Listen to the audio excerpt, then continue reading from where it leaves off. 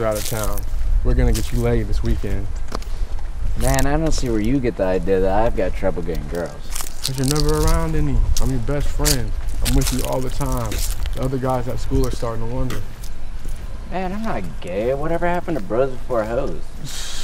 That's just silly. We all gotta deal with the opposite sex at some time. You're tripping, man. I don't dog you like this. Cause I got a girl. Yeah, you got a girl. That's right. It'll happen when I make it feel. You know, when I feel like making it happen. You think you're used to some shit? And I don't slip it to girls while they sleep, man. Hey, Shell, I'm just saying. You want something, you gotta go out and get it. What if I don't want to? Yeah, we're right back to the gay question. Man, I'm gonna beat your ass. I'm gonna beat your ass if you don't show up tonight. And why is it that you always think that something's gonna happen to these big parties, man? This is real life. You need to get your head out of this chick Well, I'm determined to get you something tonight. I need a sigh of relief.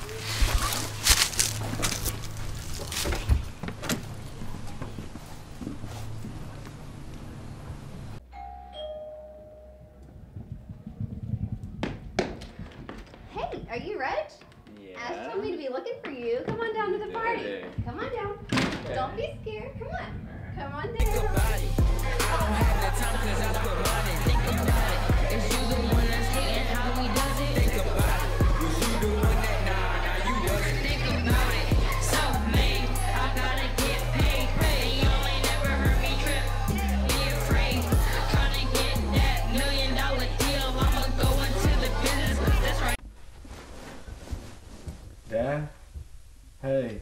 How you doing?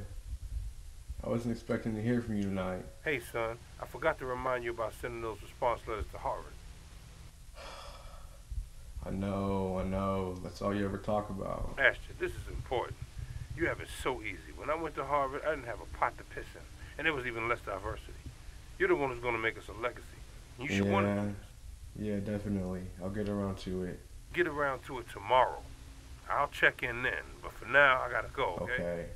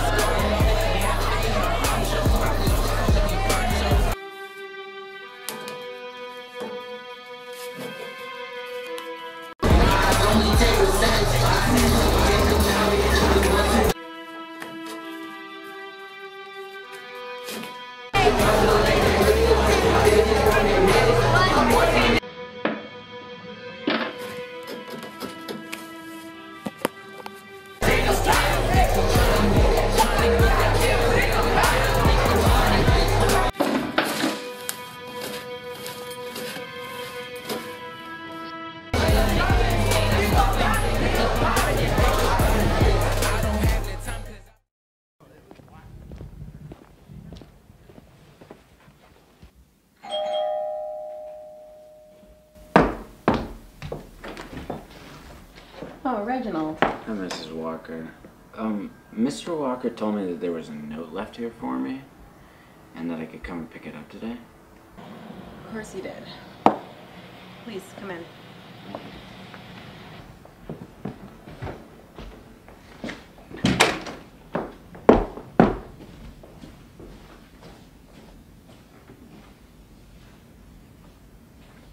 I'm sorry for your loss.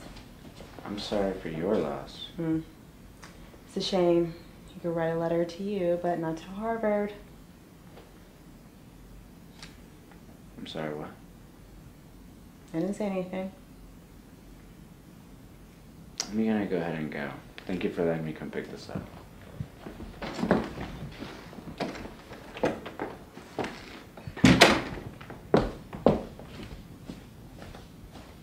I feel like I'm losing it. I felt like I could hear what she was thinking, but different words were coming out of her mouth. It's perfectly natural to experience something like this so soon after your friend's suicide. It's a touchy issue that leads most to either be sympathetic and others to accusing that person of being selfish. Well, I can't decide on either until I find out why. You know, why now? Why so sudden? He left a note addressed to you. Have you read it yet? No, I just picked up this morning.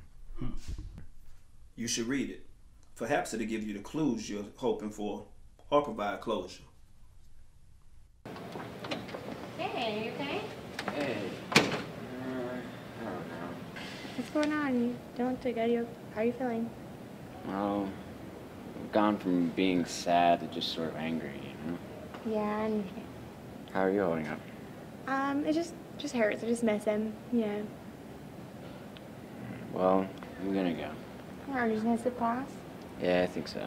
Okay, well let me know what you need. Okay. All right.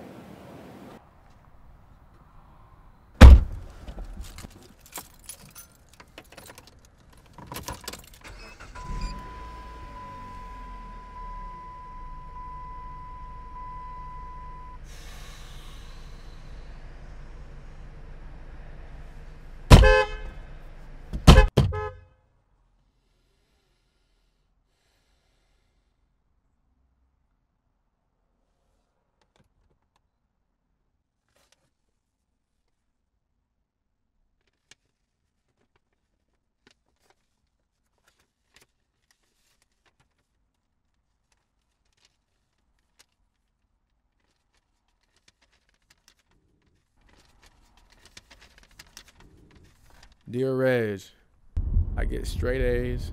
I got into Harvard like my dad always wanted, and I got a beautiful girl.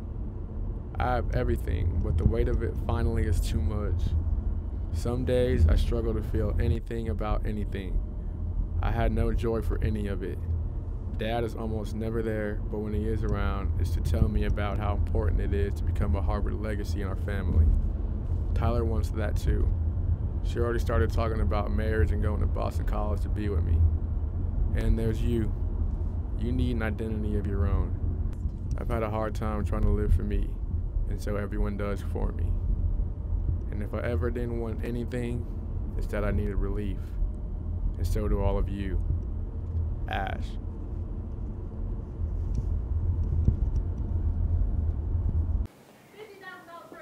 Are you crazy? That's my son. He killed himself. Portia, this son we're talking about. Reginald, what can I do for you? You should read